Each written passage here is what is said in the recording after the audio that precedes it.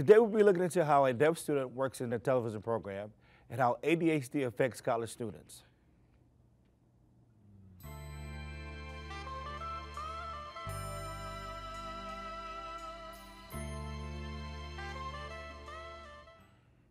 Hello, I'm your host, James Edwards.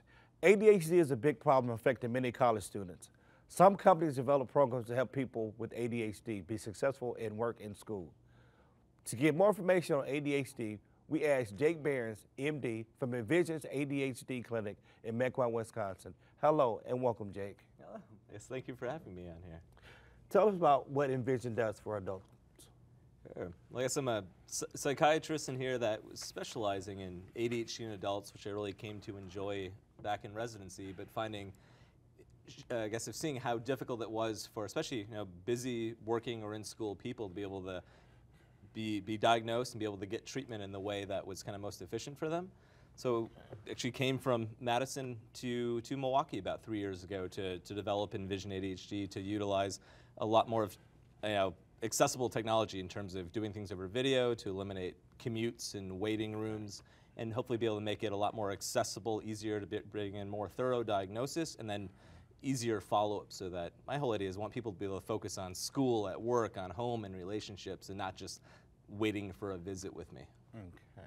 You had mentioned Madison. Mm -hmm. With the Vision, is this company only located in Madison and Mequon, or is there more than just those two yeah. locations? Um, physically located here in Milwaukee. I recently moved the clinic up to Mequon, but the whole idea of it is we only meet in person and one time to establish care, um, obtain um, vitals. Then after that, everything you can do remotely. So people are able to do all their follow-ups from their phone or from their computer. So that I actually work with a lot of people still from Madison, actually from all over the state, who commute down for their one-time visit because it's still often faster, easier. They make that one visit, and then we can do everything else right from remotely, right from their home. Okay. For those of us that do not know, what does ADHD actually stand for, and what is it? Yeah, we have well, technically attention deficit hyperactivity disorder. Mm -hmm. Really, a name I think is very diminutive to it, but the whole idea in here is I always think of it more in terms of executive function, our ability to um, prioritize, organize, and then ultimately inhibit or put the brakes on the everything else that's going on. I often think more of ADHD as this kind of you have this Ferrari engine of a brain that's banging on all cylinders, but inevitably life's going to throw road construction, traffic, curves into the kind of in front of you. And if you don't have your brakes finely tuned, I don't care how good of an engine you have, you're going to get yourself into trouble. So I think so much of it is what we want to do is it's a gift. You have this high revving machine. We just want to hone your brakes versus fight it or take it away. Okay. With ADHD, how is it actually diagnosed? So much technically from a you know, from a psychiatric standpoint, using the um, diagnostic statistical manual, is it's it's a what you call a clinical diagnosis. So it's based on history. So what you're looking for are symptoms of either of inattention or of hyperactivity, impulsivity that have been present since before the age of 12, have been affecting you in multiple domains of life, work, school, home, relationships, um, and that is causing an impairment in, in some way that's affecting life. Okay. And with ADHD, is there like different levels to that? Technically, you have um, you have levels. You, know, you could technically classify as mild, moderate, severe based upon the level of functioning. And technically with it, you had prior terms such as ADD or attention deficit disorder versus ADHD, attention deficit hyperactivity disorder. That's really been combined now to just the one term ADHD with different specifiers such as predominantly inattentive type, predominantly hyperactive impulsive type, or okay. combined type. Okay. And um, what different programs are out there for the different ADHD since you mentioned there's different levels to it? As um, treatment? In terms of treatment? Mm -hmm. Well, a lot of time it's going to, you know, people will start by speaking to, often, you know, if it's, say, it's on referral from a teacher, some things are done in schools, but oftentimes it'll be seeing their primary care um, phys physician or a therapist or working with a psychiatrist. And oftentimes what it's, you know, some places might require more quote unquote testing of different types of neuropsych testing, but technically the diagnosis itself is all from a clinical diagnosis. Okay. And people can work with, you know, certainly aspects from medications, for therapy or coaching, for different types of accommodations, even getting at other type of lifestyle things. Make sure you rule other things out, such as issues with sleep, with other mental health conditions, with substance use. So you can come at it from many different angles, and I always think the best approach is coming at it from a full menu of options that you can utilize. Okay, perfect.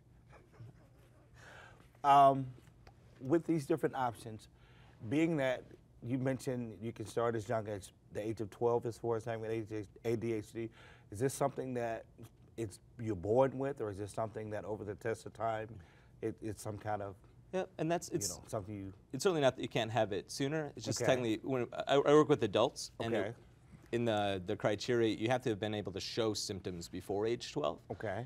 But a lot of times, you know, if I'm thinking of what's going on in the brain, is a lot of times we're thinking of the we call the prefrontal cortex, the area of executive function. But this is also the area; it's the last part of the of the brain to develop in childhood. So, you know, technically, you could see symptoms in children, which is likely going to be there, and it, it might be a question: is is it just developmental delay? Is the child younger for their age? You know, potentially is it do they start school year earlier than they might have are you just waiting for that development so it can be at any age but it's i guess it'll be different in, in childhood is, is the child still developing and will they get there you know, by the time you get to adulthood you're looking if you see that consistent um, repetitive pattern that's what we're looking for Okay. And to get into Envision's ADHD, you have to get in with a doctor referral, or is it someone I can come directly off the street? How do I actually get in contact with your company to sit there to have myself Yeah. or my child tested for that? My, my passion is bring the healthcare is something that I I'm very passionate about bringing consistency and transparency to healthcare. Um, so in this is it doesn't matter who you are, you know exactly envisionadhd.com. You can see exactly how the program works. I want to be as transparent as possible with prices, what's all included, and how it works. Um, and the same idea that you can just click schedule now, see the available services, see available times, click and be scheduled. Um, I know myself, even if I want to get a haircut, if I have to pick up the phone and go back and forth if a time's available, I'm not going to do it. Um, the whole idea here is it came the first time I remember going to an Apple store at the Genius Bar where I could just like click and schedule a time. That was probably 15 years ago now. Uh, but that's exactly what I wanted to bring to healthcare because I know that's the only way I go and get services anymore. Okay. And as far as how did you actually get into this field? You know, most people either had a family member that may have had ADHD, and it was a passion of theirs because you mentioned the word passion. Mm-hmm. There was a passion to find out more about, so I can help other people when I could help my family member. Yeah, I was. I guess I could go back a while. Even my, myself, it was I, I, I was not someone that was like, oh my gosh, I'm gonna go into psychiatry. Mm-hmm. I knew medicine. I was certainly excited by. I'm a weird guy that actually liked technology, so it was really odd that I went into to psychiatry. But I saw emerging kind of fields that I could get into, and it was during residency when I was working with. It was actually um, a lot of Epic, a large consulting company, um, health record company in Madison, and I was working with a lot of people who I considered much more my, my peers. Out of college, incredibly bright, traveling, trying to get in to be able to have help with with with something I saw is not like, oh my gosh, you have this terrible negative condition, but it's more you have a gift, we want to hone it. These were my peers who I liked seeing them come in, that I liked using the high-tech software that I was building so we could track outcomes and see changes over time. And what I liked is I would see people get better, see major results, and it, even the treatments are much more hands-on where it's we fine tune a treatment versus just saying, here, take this and tell me how you're doing in six weeks. And that's what really got me involved. The people were excited by the tools that I was building. I would see progress. And I would say th- these are my peers. These are the people that I would you know, want to say hi to on, on the street, want to be kind of connected with. And that became a niche that I saw, especially in adults. It was kind of a diagnosis that at least my, my colleagues didn't want to touch. Like, if you're a successful, high functioning individual, you can't have ADHD. And I see ADHD does not mean failure. Okay. And that was the big concern. So it became a great niche because other people didn't want to get into it. And it was something I was just waving a flag. Please bring these things my way. Okay. Okay. Now, with your program, is it accessible to everyone? Do you take this and offer this, offer your services like various colleges? Because, you know, some college students are, like we're talking, discussing today, have been diagnosed with ADHD and need accommodations. Do you reach out to some of those schools to try to set up a program to help them out? Uh, um, a lot of like college students and people will find me. And they can find me online and get, get in there. I say I don't specific. I know that's where a lot of the stigma is. I think with ADHDs, thinking are college students trying to get diagnosed? Are they trying to get the medications? Right. So I'd say I do not specifically market to colleges. Okay. But where it comes in is if people can find and get set up. A lot of times it's actually parents, even in other states, who are calling, trying to find services for their for their children. I much prefer when the the patient, i.e., the, the student, reaches out to me directly. And I try and make myself okay. as accessible as possible. Um, but that, that's all available. Everything is kind of set up. I actually run more of a um, kind of more like, I guess, a monthly subscription type of thing. So you have unlimited visits, but more importantly, you just have direct messaging with me. Okay. That way, care is happens in far more than just when we meet face to face. Okay. And you mentioned the company in Madison as well as in Mequon. Um, I, I moved, uh, so I moved, so my entire presence is here in the Milwaukee area. I service people from all over the state, Okay. where people, they often find it easier and faster to still schedule. The average wait time to see a psychiatrist is generally two to six months. Okay. Some of them might require you to go for extra quote unquote testing. That might be another three to six months out. So in here, if we can get a much more thorough diagnosis, all done directly with your physician, who's also the person that's going to be treating you, just to try and streamline that process. Wow. We learned a lot about how to help students with ADHD. Our next story is about a young man that, despite being deaf, has a bright future in a television production program. Every Monday and Wednesday morning at 8:30, Eric Murphy arrives at Milwaukee Area Technical College's downtown campus. Here is where Eric attends the television production program. Eric is not your typical TVP student. Eric is deaf. Most people would ask, how can he do television if he's deaf? Well, Eric shows them with the help of the television program teachers, and MATC's accommodations office. We got to sit down and talk to Eric about being in the television production program. I decided to do a television major because, like everyone, I grew up watching all different television shows and, of course, enjoyed them. I love the creativity of the story. I felt like it was an escape for me to kind of dive into another world. And I felt that was what was special about TV. And I really wanted to use my influence to bring awareness to deaf people in the industry. I'd love to see deaf people thrive and I'd like some awareness. People saying, wow, deaf people can act or deaf people can be part of this industry. One thing that helps me be successful in my classroom is, well, first and foremost, I have to have accessibility, accommodations. One of them, obviously, being a sign language interpreter in class that I can watch and understand everything that's going on in class, from the lectures to what other students in the class are saying, their questions perhaps, or group, group work or projects. I have an interpreter available so that I have access to that information. That's inside of class, but outside of class, I study, I memorize the materials, I practice just like anyone else and apply those skills when I get it back in the classroom. And that's how I'm successful. We also sat down with Eric's instructor, Glenn Riley. a challenge too. Not so much as far as the student is concerned, but for me, making sure that whatever I talk about, I'm enunciating my words for the interpreter so they hear it and interpret it to the student. Eric is going to have a bunch of challenges, obviously, um, and in this field. Uh, the things that I think that he'll be good at is going to be like graphics, um, maybe lighting, but I think it might be harder for him as far as editing because you, you got to understand and listen to sound, understand how sound works with video. Floor directing, you know, having your headset on and listening to your directors and producers. Any type of live production is going to be a, a little bit of a detriment to him. Uh, field production work, just getting that. I mean, you could you could see the meters on your camera go up and down, the meters on a board going up and down if you're doing audio. But that doesn't mean that, that's, that the person's talking. It could be them tapping their mic with a pen. It could be jewelry hitting their mic. But if you're looking at it, you say, oh, they're talking, they look good. So in order for him to do something like that, to be successful in it, he would have to actually have a monitor, a screenshot of whoever's talking at the time so he can see that there is no uh, problems with the mic being mani- manipulated or touched or um, you know anything hitting it uh, for it to work out for him to do audio. Hanging out with Eric, we see he has a plan on changing television for deaf people. We hope Eric's plan for more deaf people in television program comes true. Our next guest has worked in higher education for 15 years with students who experience physical and learning disability. We welcome Mary Louise Ross to the show. Ms. Ross, what are accommodations? Accommodations are an attempt from our colleges and universities to help students who have physical and emotional and cognitive disabilities to be able to have a full participation in the college experience.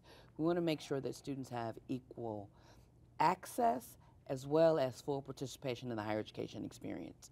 And the way to do that is to make sure that they have accommodations. And when we talk about accommodations, we're talking about the ability to help them be able to gain that type of access.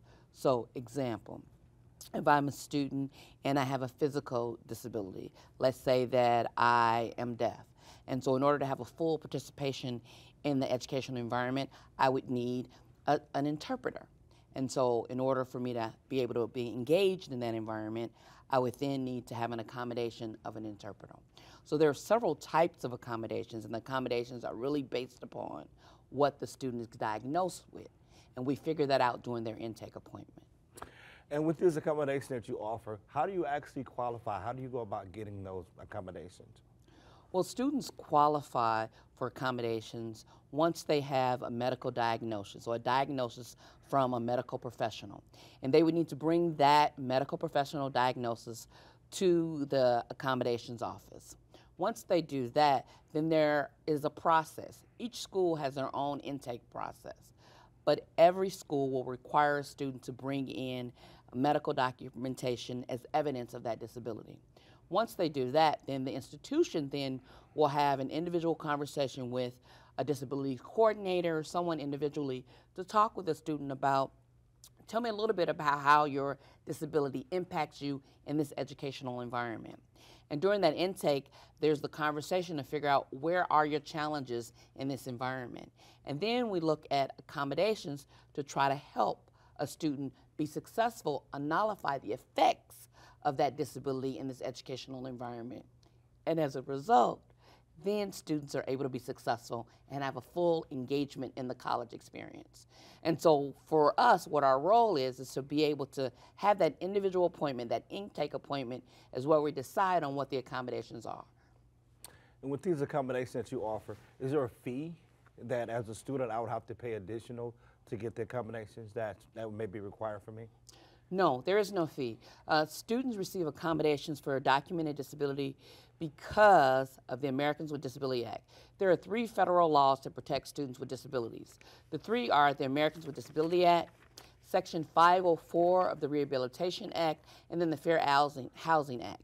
Those three federal laws are what protects students and requires colleges and education to provide support for students with documented disabilities so that they can have full participation and engagement in the college experience. We want to make sure that they have equal access.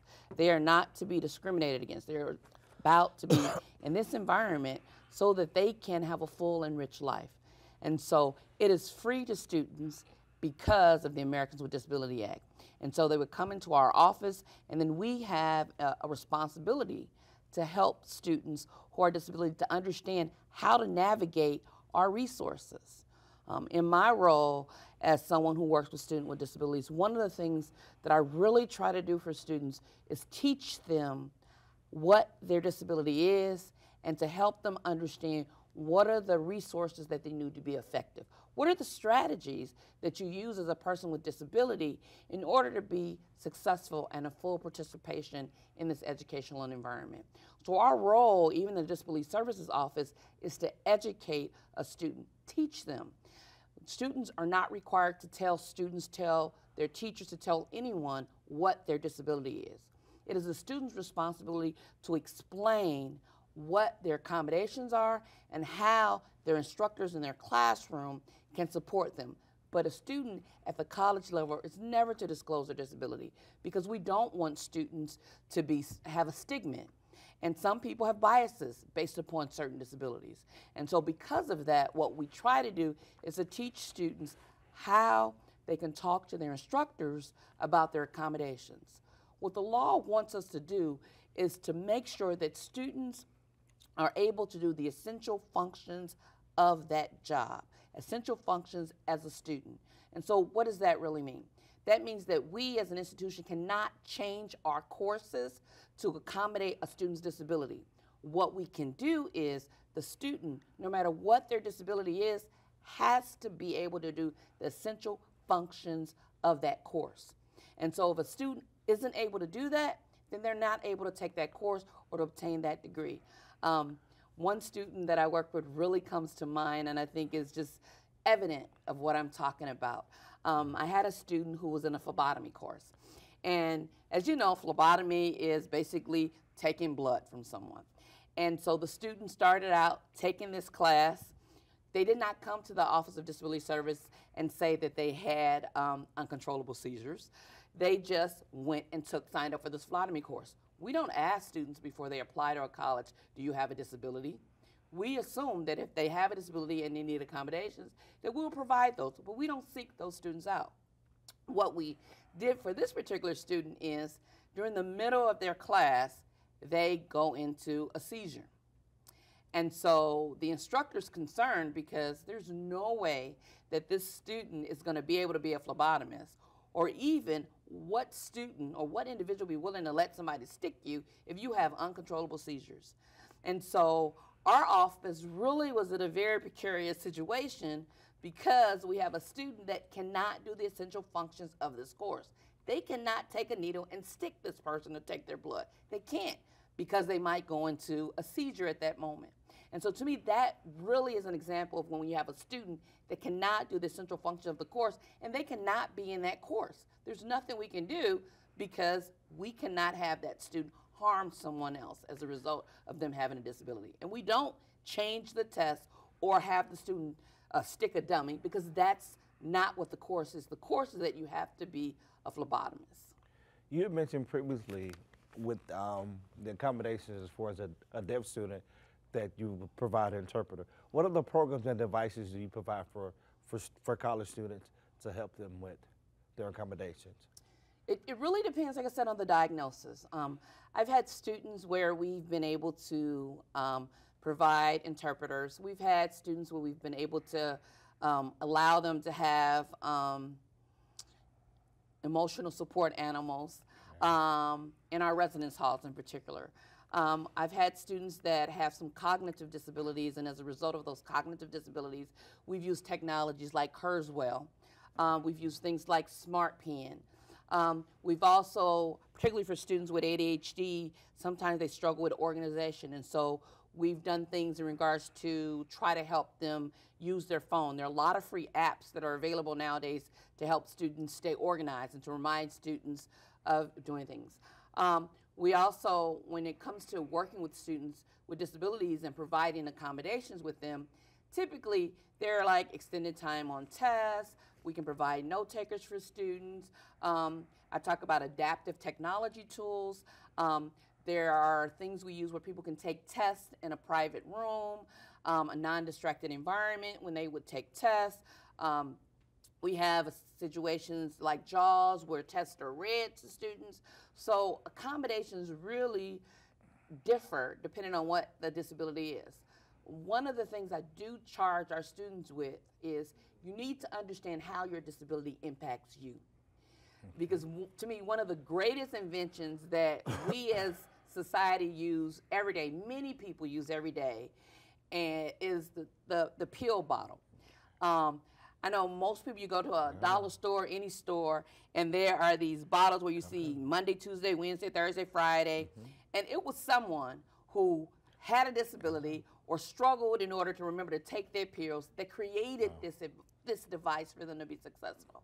And so, one of the things we encourage students to do is to really understand how your disability impacts you in different environments because you may have to uh-huh. create okay. that adaptive technology for you. You may have to do it for yourself okay. in order to be That's successful in any environment. Okay.